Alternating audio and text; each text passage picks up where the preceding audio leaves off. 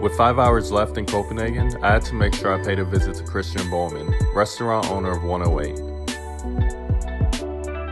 I'm happy that we can be here and, and, and Do do, and, and do our small little part, which is, you know, from a chef's point of view, sharing the research that we have.